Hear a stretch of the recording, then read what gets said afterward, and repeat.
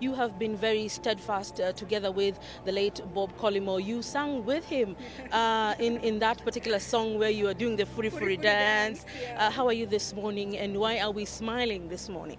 I'm smiling because because he had a good life and because he lived the life that he wanted to live. And you know, we will cry, we will have our moments, but ultimately I think the best thing we can have is a chance to truly live.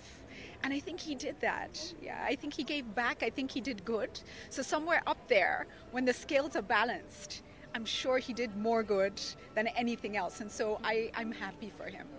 At that time when you were going into this particular video, because it's what people now remember, uh, the, these are the videos we, we keep seeing on television all the time. Uh, did you think, what are we doing? Are we doing, is it okay? Because we've not seen people of such caliber, CEOs of companies, doing things that the ordinary Kenyan will be doing. Uh, were you having second thoughts, or when he said, ah, let's do this? Okay. Do you mean the Furi Furi dance Yes, video? the video. So actually, Jimmy Gait approached us all individually, and uh, so reached out, I think, to, to Bob, to to Jeff, uh, and, and I, and we all agreed separately. So we didn't have a conversation about it. And when we met there and did the dancing and, and the singing and the whole video, we had a ball. And I think that's what he was about. He wasn't about overthinking things. He was a strategic leader. But sometimes when things needed to move fast and he needed to make a decision, he wasn't shy to stand up and say, yeah, let's do that. And that's what, what I mean when I say truly live. Because sometimes as humans, we tend to procrastinate, think too much about things, push things aside that maybe we should have done and we should have experienced. You know, he walked in parts of Nairobi that I think some CEOs never experienced, you know, sat with people who some people would never think about sitting with, talking to, becoming good friends with.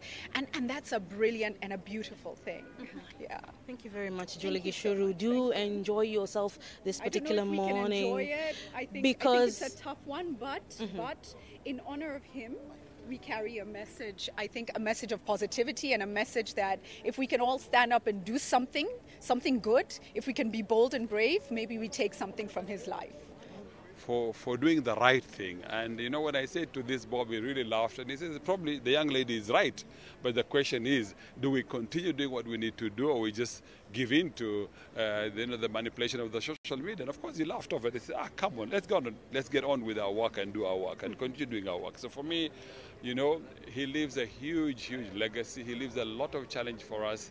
I think his dear wife and Wambui and, and her children and their children is what we really need to, to, to look after, pray for them, for their well being and for their good health. But I think for the Safaricom fraternity, Safaricom as a company, even before uh, Bob, with Michael and the rest of the team, have been a true supporter of the Red Cross and the humanitarian work for this country. So I really want to pass my condolences, one to the family, but also to the bigger Safaricom family, but also to ordinary Kenyans who loved and cherished and respected and understood who Bob was. Uh, only having been nine years in this country, having become a citizen of this country, but larger than life, that for me he was a true hero. And um, I can only pray for Lord Almighty uh, to keep his soul in eternal peace until we meet again uh, the hereafter.